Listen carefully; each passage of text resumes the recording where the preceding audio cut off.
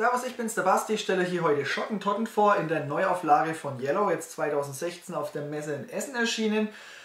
Schottentotten ist schon ein etwas betagteres Spiel. Hier 1999 kam die erste Ausgabe raus. Die sah in etwa so aus, das ist jetzt aber die von 2004. Dann gab es noch eine von 2009 und was weiß ich, in verschiedenen Sprachen. 2013 gab es noch eine polnische und eine spanisch-französische, aber auf Deutsch eben schon lange keine mehr. Das heißt letztlich auf Deutsch war das Spiel vergriffen und jetzt kommt hier die neu überarbeitete Ausgabe von Yellow in Englisch. Ob es eine deutsche gibt, kann man nur mutmaßen. Ich schätze schon. Äh, genauso wie bei Diamant, aber eine offizielle Bestätigung gibt es derzeit noch nicht. Also zur Zeit, wo ich das Video jetzt hier drehe, noch nicht. Ja, hat den schönen Untertitel Kill or Be Killed, aber nicht killed wie getötet, sondern killed wie der Schottenrock. Ja, ja, witzig, dass sie das noch mit drauf gedruckt haben. Schöner Untertitel. Ja, das Ganze ist natürlich äh, nach wie vor für zwei Personen ab acht Jahren und dauert ungefähr 20 Minuten. Wenn ihr sehen wollt, wie das Spiel gespielt wird, dann schaut euch die Regelerklärung an. Ansonsten geht es dann weiter mit dem Fazit. In Schottentotten treten zwei Spieler mit ihren Clans gegeneinander an, um sich diese Grenzsteine in der Mitte hier zu sichern.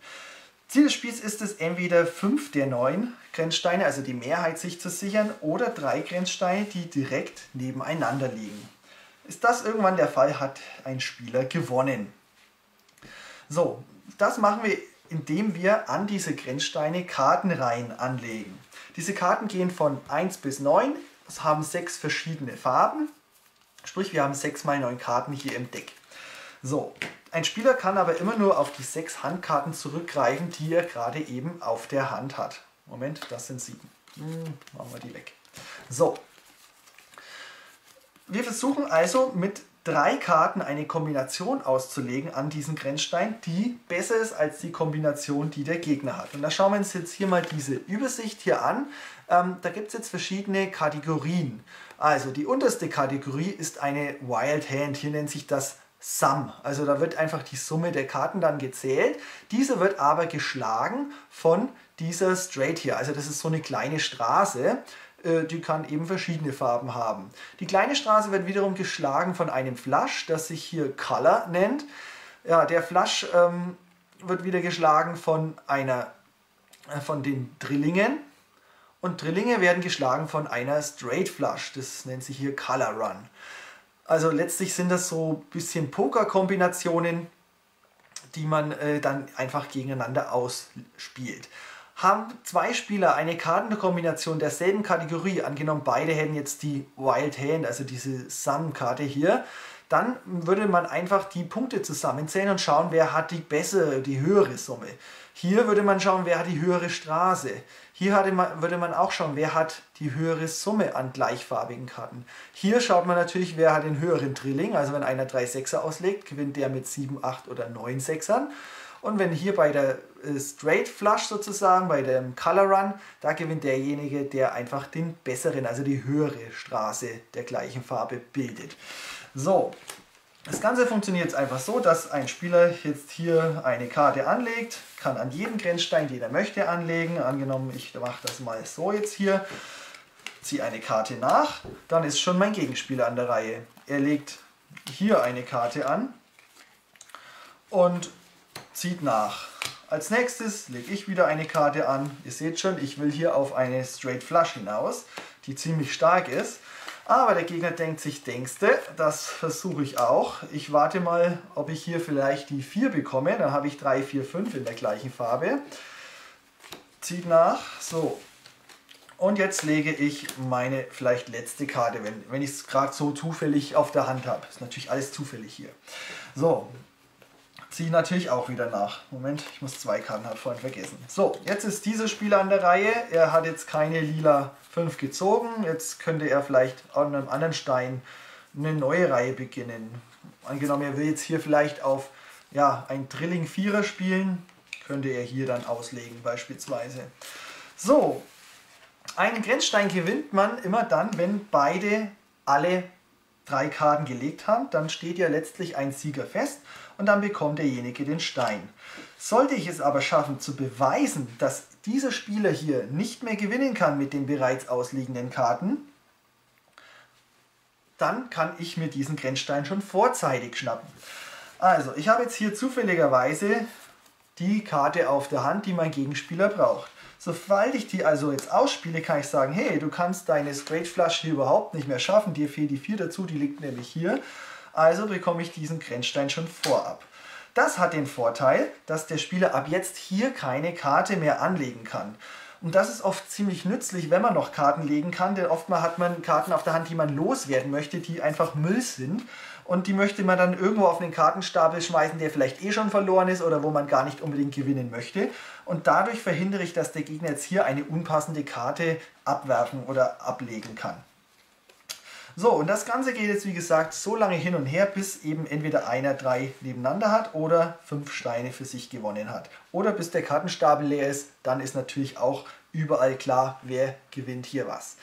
Ja, das war das ganze Spiel und jetzt kommen auch noch solche Taktikkarten hinzu. Das sind, äh, ist ein Extra-Deck, das ist dann für fortgeschrittene Spieler. Ähm, hier kann man dann eben immer entscheiden, von welchem Stapel man ziehen möchte und kann diese Karten dann äh, taktisch einsetzen, um zum Beispiel den Gegner eine Karte zu klauen, Karten zu verschieben. Dann gibt es hier zum Beispiel Joker-Karten, hier kann man die Farbe und die Wertigkeit festlegen. Hier kann man äh, die Farbe festlegen, das ist praktisch eine 1, 2, 3, ein 1, 2, 3 Joker oder hier haben wir einen 7er Joker drin und so weiter und so fort. Das sind also noch so zusätzliche Karten, die äh, bei der fortgeschrittenen Variante mit ins Spiel kommen können. Ja, zunächst mal zur Aufmachung von Schottentorten. Dies wurde ja komplett neu überarbeitet. Bei dem alten hätte ich ja lieber ein Asterix-Thema gehabt, statt irgendwelche Schottentorten. Das fände ich witziger gefunden. Ähm, hier haben sie es jetzt aber trotzdem bei Schottentorten belassen. Auch wieder kein Asterix, aber wirklich komplett grafisch überarbeitet. Anderes Kartenformat, andere Grenzsteine, die mit dabei sind. Ich zeige euch das Material jetzt einfach mal in einem kurzen Ausschnitt und dann bin ich gleich wieder da. Schauen wir uns das Material mal an, das neue. Wir haben hier oben die alte Ausgabe und hier die neue, also Übersichtskärtchen, dann die Grenzsteine, die jetzt solche Tokens geworden sind. Und dann sieht man, hat sich auch das Kartenformat verändert und natürlich auch die Grafiken. Wir haben jetzt eben nicht nur Männer, sondern auch Kriegerinnen, also wurde auch an die anderen, ans andere Geschlecht gedacht. Und ist richtig cool, richtig coole Grafiken. Also ich gehe mal hier ein bisschen näher drauf. Diese Dame hier, echt schön gemacht. Und der Vorteil ist auch, jetzt wurde in dieser neuen Ausgabe auch an farbenblinde Menschen gedacht. Ihr seht hier oben auf den Karten sind jetzt auch Symbole drauf, die die Farben symbolisch voneinander unterscheiden, sodass Leute, die da Schwierigkeiten haben, das auch spielen können ohne größere Probleme. Also hier sieht man auf jeden Fall schon mal den Vorteil dieser neuen Variante, dass hier an die farbenblinden Menschen gedacht wurde. Ansonsten bleibt ja letztlich alles gleich vom Spielprinzip her. Äh, klar, äh, ob einem das Grafikdesign jetzt gefällt oder nicht, ob das alte schön ist oder nicht, das ist natürlich Geschmackssache. Das neue ist einfach ein bisschen peppiger, bisschen, sag ich mal, ja, reiserischer irgendwie. Äh, das alte ist halt so richtig schön klassisch, gefällt mir nach wie vor ziemlich gut. Ja, aber wie gesagt, das ist reine Geschmackssache und vom Spielprinzip her gebe ich dem Spiel nach wie vor 4 von 5 Lamas, denn es ist nach wie vor einfach ein richtig schönes, klassisches, einfaches Kartenspiel, das aber doch eine gewisse Tiefe hat, ähm, wenn man das dann häufiger spielt.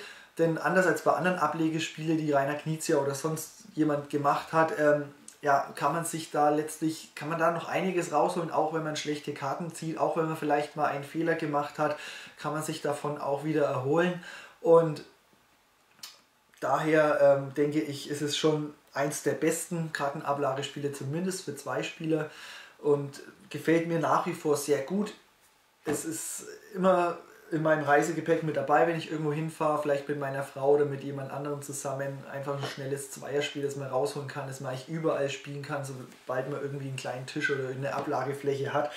Ähm, passt es immer ganz gut. Es ist einfach, man kann es jedem erklären. Man hat natürlich als erfahrener Spieler, obwohl das Spiel ja doch keinen zu verachtenden Glücksfaktor hat, einen immensen Vorteil durch die Erfahrung, durch gewisse Tricks und Kniffe, die man anwenden kann, die man einfach im Laufe der Zeit lernt.